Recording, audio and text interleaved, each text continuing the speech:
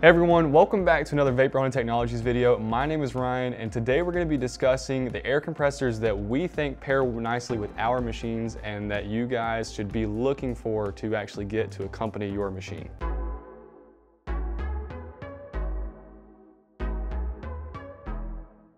Now, before we get too into this, I do want to say that we here at Vapor Honing have no affiliation with any of these compressor brands and we are not sponsored to say any of this. This is just what we've heard from customers and it's what we're going to recommend to you guys because these compressors meet the requirements and from what we've heard, they're pretty good. Um, so with that being said, the first compressor that we actually recommend is the Eaton Compressor Polar Air. Um, there's actually two variations of this compressor. There is the standard version and then there's also a silent version, but they both have the same CFM. Now it is a seven and a half horsepower compressor. It has an 80 gallon tank and it's 220 volts single phase. You guys are gonna see throughout the rest of this list that there's not actually a 110 volt um, compressor that will keep up with your machine, but that Eaton compressor, the, the Polar Air, it actually comes in at 31 CFM at 100 PSI. And as you guys know, for the majority of our machines, that is more than enough CFM. Um, that's more than we recommend for things like the Weekend Warrior, the 800 base, and the 1000. Even up to the 4000, if it's a one station, it's, it's up to 30 CFM. So that's gonna be comparable for you guys. Um, that machine does come with a five year warranty according to Eaton's website, and it is a two stage compressor, so it's gonna be more efficient.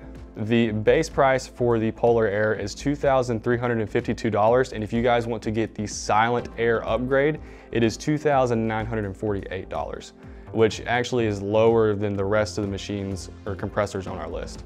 Now, the next compressor on our list is the Ingersoll Rand Type 30. Again, this is a seven and a half horsepower compressor. It has an 80 gallon tank. It's very similar when it comes to CFM specs, but it is a little bit more pricey. But the benefit of something like the Ingersoll Rand is you can actually pick it up at places like Northern Tool. It's much more accessible, so you don't really have to worry about shipping costs. Um, we've seen it for around three grand, depending on where you guys are trying to buy this thing from.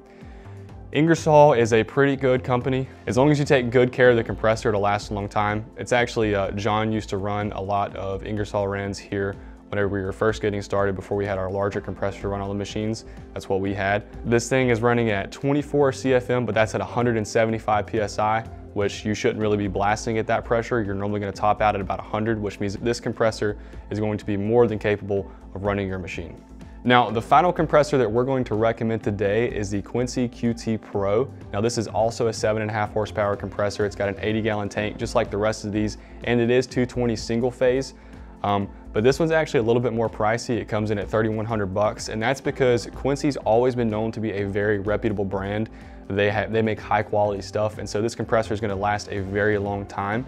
Um, again, it is slightly more expensive, and that's just the, the distributor pricing that we were able to find around here. It might vary depending on where you guys are at.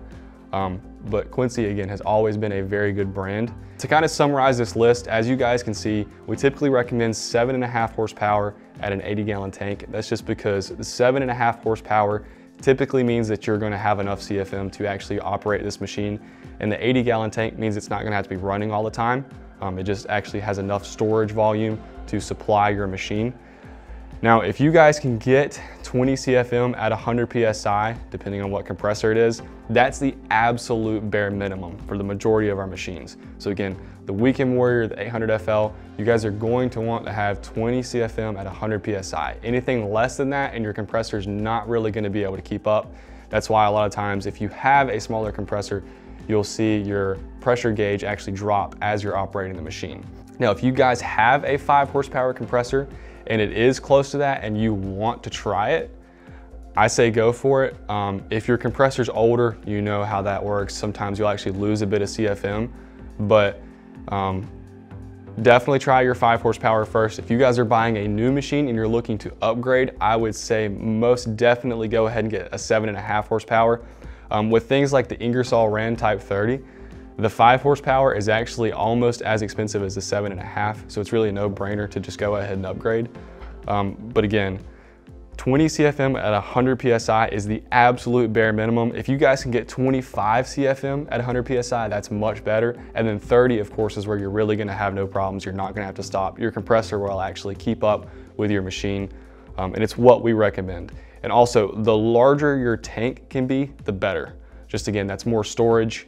Um, that means that your, your machine's actually gonna be able to run longer before your compressor has to keep on, kick on and, and actually support that machine. One last thing I wanna say before you guys go is actually to discuss the airlines that you're running to your machine. We actually, in our showroom, use the Rapid Air Kit from Northern Tool.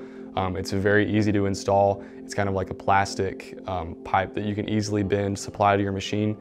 We recommend at least a half inch airline if you guys are um, gonna be having your machine like 30 feet or so away from your machine, definitely use a half inch, if not larger.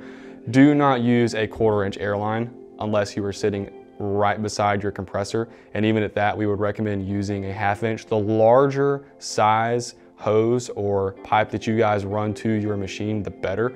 Not only is that gonna provide a little bit extra storage, but you're actually not necking down your CFM because that can happen. You do have a CFM drop if you're running too small of a line for too long. So again, we recommend three quarter, like the Rapid Air Kit. Um, half inch lines work as long as you're not getting too far away. But if you guys have any questions about that type of thing, recommendations for your shop, we have people here that can help you out. So call in, we'll, we'll help get you set up. If you guys have any other questions regarding our machines, leave them in the comments below. We'll definitely make a video on them, or you guys can call us at 828-202-5563. And also, if you guys are ready to pull the trigger on one of these machines and get the absolute best wet blasting equipment on the market today in your shop, again, you can call us at 828-202-5563. We're here to help you guys. Again, any questions you have, drop them in the comments below. We want to thank you guys for watching. Hope this was informative and have a great day. Peace.